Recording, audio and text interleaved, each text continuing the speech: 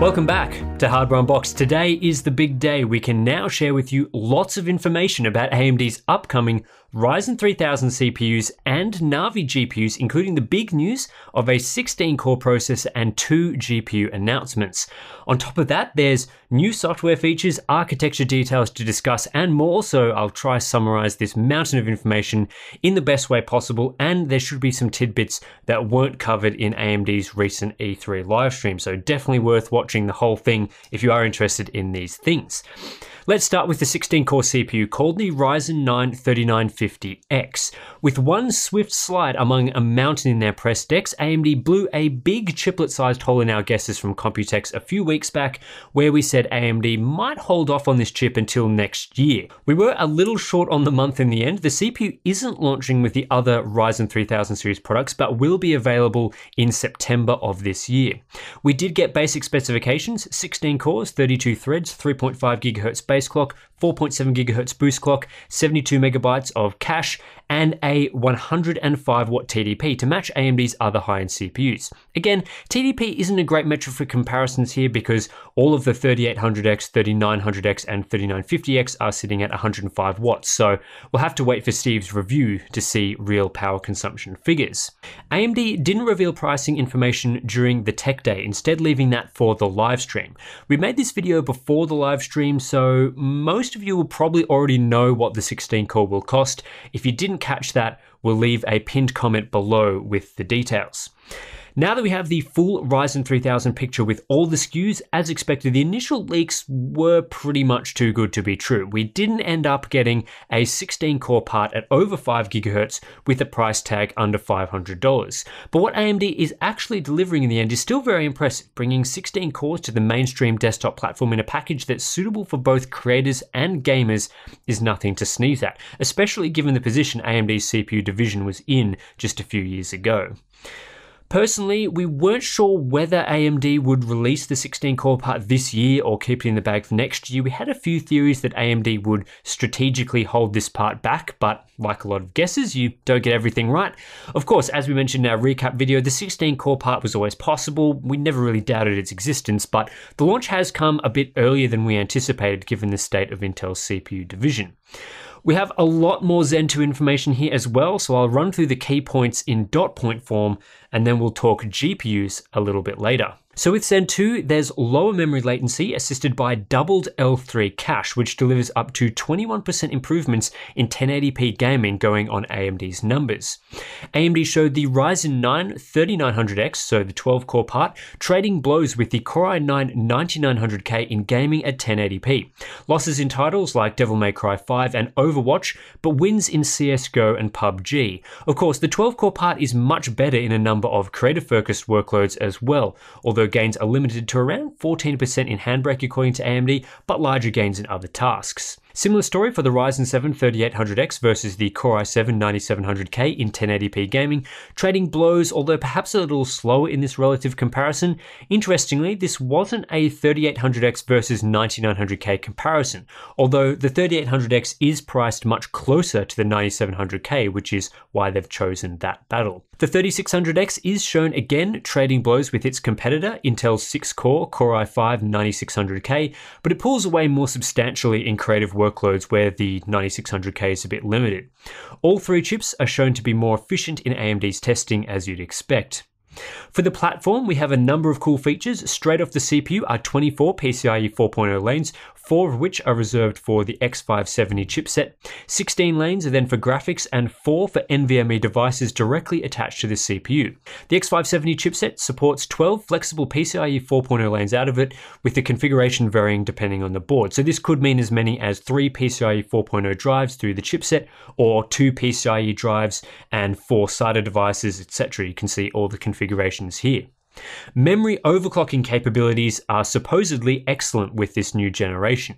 DDR4 3200 is the officially supported spec, however AMD are claiming they've achieved DDR4 5100 on air thanks to their new memory controller design. We heard at Computex that DDR4 4000 and above should be easily achievable on all Ryzen CPUs, with mid 4000 clocks doable without anything crazy, hence why many boards support above DDR4 4400. However, AMD claims that the sweet spot for performance will be DDR4 3733, with the Infinity Fabric tying to the memory clock at a 1 to 1 ratio up to that point. Beyond that, it switches into a 2 to 1 mode, so the raw memory latency for DDR4 4400 is actually below that of DDR4 3200. That'll mean that for some workloads, the higher performance memory will be more suitable, and for others, potentially gaming, you might want to keep it below that 3733 mark. We'll have to test that to find which are the best memory configurations for various workloads. Overclocking support for the CPU is also improved thanks to a better version of Ryzen Master. On top of that, Precision Boost Overdrive now delivers up to 200 MHz of automatic overclocking should you enable the feature and have good enough cooling. AMD did divulge quite a lot of information on the Zen 2 architecture specifically. Most of this stuff is beyond the normal scope of the channel, so if you are interested in the nitty gritty architecture details, I suggest heading over to AnandTech or a source like that, who often do a fantastic job of covering the architecture. That said, I'll show the summary slide here where you can see features like an improved branch predictor, larger L3 cache, larger micro-op cache, doubled floating point capabilities, and improved integer processing with most areas of the design increasing in size. One thing that will interest you guys is the CCX layout of each chiplet. Some speculated one chiplet would be one 8 core CCX. However, there are actually two 4 core 8 thread CCXs per chiplet die. Thanks to 7 nanometers, every CCX is 47% smaller though, with great scope for scaling. The Windows 10 May 2019 update is optimized for Zen as well, taking clock selection times from 30 milliseconds down to just 1 to 2 milliseconds, which allows for faster clock ramping with Ryzen 3000. We're also getting better topology awareness for the CCX design, and this gives up to a 15% improvement to performance just from the Windows update. All Ryzen 7 and Ryzen 9 processors come with the Wraith Prism cooler as well, if you like using the box cooler, including that top end Ryzen 9 processor. Okay, that's most of the interesting CPU and Ryzen 3000 related stuff out of the way. Let's move into some Navi discussion. AMD are today announcing the Radeon RX 5700 series, which encompasses two GPUs, the RX 5700 XT and the RX 5700. These are the only GPUs AMD are announcing at this stage, so if you're hoping for a big 2080 Ti killer or a flagship to take on Nvidia, you'll have to wait a bit longer. The RX 5700 XT is the faster of the two cards cards offering 40 compute units for a total of 2560 stream processors, up to 9.75 teraflops of performance, up to a 1905 MHz boost clock, and 8 GB of GDDR6 clocked at 14 gigabits on a 256-bit bus for 448 gigabytes per second of bandwidth. You'll also see here a game clock of 1755 MHz. This is the clock AMD expects the card to run at in typical games, with the boost clock more of a top-end figure. 64 ROPS here and 256 text units as well. Then we have the Radeon RX 5700, which cuts the compute unit figure down to 36, meaning we have 2304 stream processors. The boost and game clock are lower at 1725 and 1625 MHz respectively. However, the memory, ROP, and texture unit configuration is the same as the XT model. TDPs are a little on the high side still. The 5700 XT is rated at 225 watts and the 5700 at 180 watts. While performance and efficiency could be a big step in the right direction, AMD are pitting the 225 watt 5700 XT up against Nvidia's RTX 2070, which is a 175 watt card, which indicates that their efficiency still isn't quite there at the level of Nvidia. I'll blast you here with some of AMD's performance numbers. Of course, take these with a grain of salt given we haven't tested the cards yet. Across a series of games, many of which do reasonably well on AMD hardware, AMD has the 5700 XT around 30% ahead of Vega 56 and 5% ahead of the RTX 2070, although it does lose to the RTX 2070 in Shadow of the Tomb Raider, for example, at 1440p. Meanwhile, the RX 5700 is around 10% faster than the RTX 2060 at 1440p. As with the 16 core Ryzen CPU, I don't have pricing information provided ahead of time, but I'm expecting that to have been already unveiled during the live stream. Again, we'll have that info in the pinned comment below, and we'll refrain from making any value judgments just yet because we really don't know where it will stack up. Hopefully, it will sound decent, and we do expect, of course, mid range type pricing for this. Again, July shelf date for the cards, but no exact launch date at this stage. Of course, there is more Navi information to go through. First up, you'll have noticed the blower design used once again for the reference models. A few of you will be disappointed that AMD aren't going with the triple fan open air solution of the Radeon 7, but we are looking at an aluminium shroud and backplate. There's an acoustically tuned contour in the cooler, and the 5700 XT has a 7 phase VRM that's overclocking ready and supports power through an 8 and 6 pin connector. Another big addition for monitor fans is an upgraded Radeon display engine with display stream compression 1.2a support. This means up to 4K at 240Hz is supported, as is 4K 144Hz through a single cable. Although these cards don't support HDMI 2.1. AMD also showed off the first display with DSC support from Asus, a 43-inch 4K 144Hz model with display HDR 1000 capabilities, all through a single cable, so that is pretty neat. Okay, let's talk some Navi architecture stuff now, in particular RDNA, since there's been a lot of discussion on what this means. Again, a lot of the stuff AMD talked about is beyond our normal scope, so check out AnandTech and others for more in-depth information, but there are a few interesting tidbits in here. With RDNA, the compute unit has been redesigned to allow for better performance and efficiency, so it's not just a simple copy of GCN or a slight evolution here. AMD claims reduced execution latency, better single thread performance, improved cache design, and better resource pooling through a 2CU workgroup design. The multi-level cache hierarchy in particular brings huge gains to bandwidth in some areas, plus reduced latency compared to GCN. All of this allows for around 25% more performance per clock, and this performance gain raises to 50% when AMD compares GCN and RDNA in a same power, same configuration scenario, of which a significant chunk is down to 7 nanometers. When comparing AMD's 14nm GCN GPU at 495 square millimeters in Vega 64 compared to their new 7nm Navi GPU at 251 square millimeters, Navi has 14% better performance and consumes 23% less power for a total performance per watt gain of 1.5x. And interestingly, with such a huge size disparity, you'd have to wonder what AMD could do with, say, 80 compute units. Hopefully we see something like that in the future because it could really challenge NVIDIA's top-end GPUs. The Radeon Multimedia Engine has been upgraded to support VP9 decoding at up to 8K 24 and 4K 90, plus HEVC encoding at 4K 60 and decoding at 4K 90. Will be interesting to see how this fares for game streamers who want to use AMD's engine here for quick encoding of their gameplay. As for ray tracing, both Sony and Microsoft have announced that their consoles will support ray tracing in some form using Navi GPUs.